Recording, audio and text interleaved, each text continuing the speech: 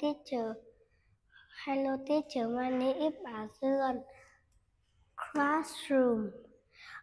A chair, a dance, a poop, a paper, a, a pencil, a eraser, a paper, a dance,